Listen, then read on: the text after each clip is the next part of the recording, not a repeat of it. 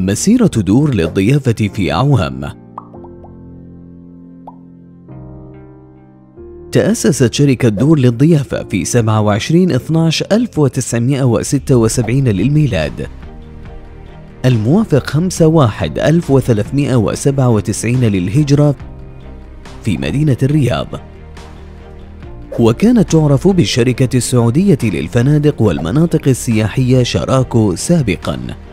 عام 1978 تعاقدنا في هذا العام مع شركة ماريوت العالمية لإنشاء فندق ماريوت الرياض كأول فندق لمجموعة ماريوت العالمية في الشرق الأوسط وعدد من الفنادق الأخرى في الرياض والظهران.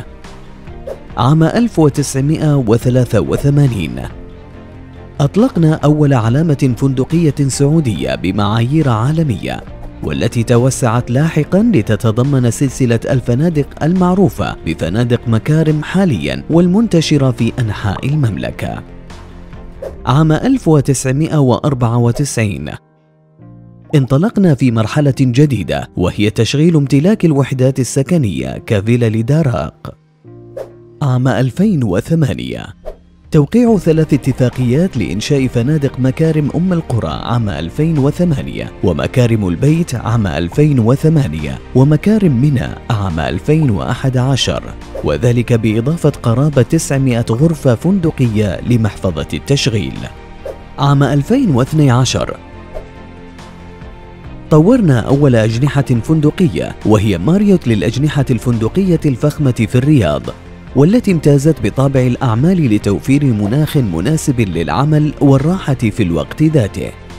طورنا أول كورت يارد في الرياض وهو أول فندق يتم افتتاحه من سلسلة فنادق كورت يارد في المملكة.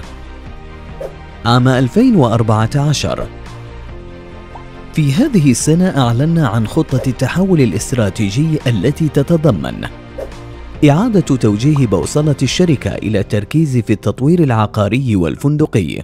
تغيير الهوية التجارية من الشركة السعودية للفنادق والمناطق السياحية شراكو إلى شركة دور للضيافة. تعزيز العمل المؤسسي والدخول في علاقات استراتيجية مع شركات عملاقة عالمية. عام 2015 وكانت أهم إنجازاتنا فيه. إطلاق الهوية الجديدة لفنادق مكارم. توقيع اتفاقية التعاون الاستراتيجي مع انتر كونتيننتال العالمية. افتتاح هوليدي إن تبوك ضمن شراكة مع انتر كونتيننتال العالمية. تمديد الاتفاقية مع الهيئة العامة للطيران المدني لمدة عشرين سنة لتشغيل فندق مطار الملك خالد.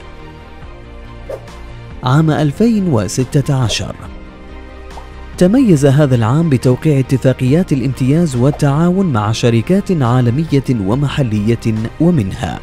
توقيع اتفاقية امتياز مع ماريوت الدولية.